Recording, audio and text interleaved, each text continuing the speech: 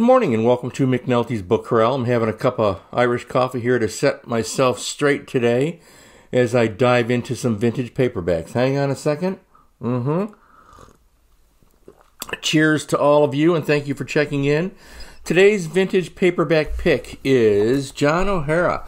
One of the viewers had mentioned John O'Hara, uh, one of the great writers from post-war and pre-war and post-war America, 30s and 40s and so forth. John O'Hara was born in 1905 and died in 1970. He was one of the major uh, best-selling authors for many, many decades. Uh, the paperback pick today is Hellbox, which is a collection of short stories. I'll have a scan of this at the end.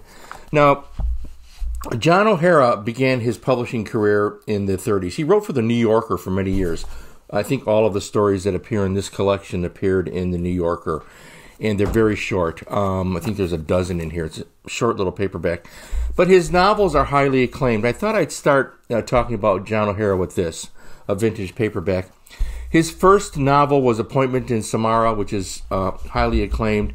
Nice first edition to have if you're interested in American literature from that period, about mid 30s. This was followed by Butterfield 8, which was, uh, I think, also in the 1930s, which was made into a motion picture many decades later with Elizabeth Taylor. I'm not a fan of the movie. I like the book. I'm not a fan of the movie, although I, there's nothing wrong with looking at Elizabeth Taylor running around in her lingerie. Uh, I think that's just a fine idea.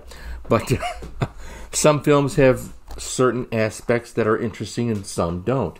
Um, but anyways, John O'Hara, really a great writer. He he's not he's not uh, talked about much today.